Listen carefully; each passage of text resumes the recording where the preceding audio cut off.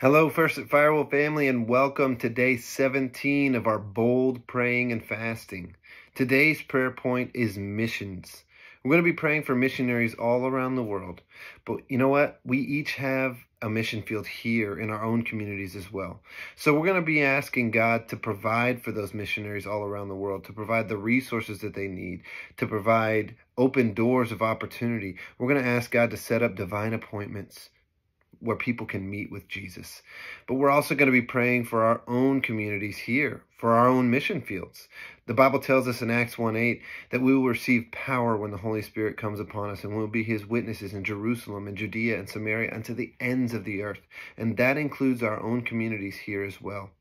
So we're going to be praying that God will continue to meet those needs and that he would help each and every one of us to finish that mission that he has called us to. So, Father, we thank you for today. We thank you for the opportunity that you give us to be a part of that mission. Father, I ask that you would be with those missionaries all around the world, some of them in countries where it may not even be safe for them to share your word. So, Father, for them, we ask that you would provide protection and safety.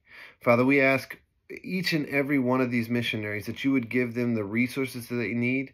Father, that you would open up the doors of opportunities for them to have an impact in the people all around them.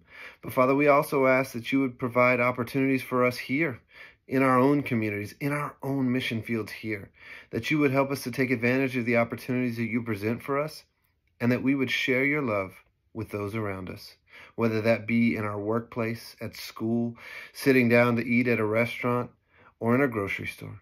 We ask that you would help us to look for those opportunities to share your love with others.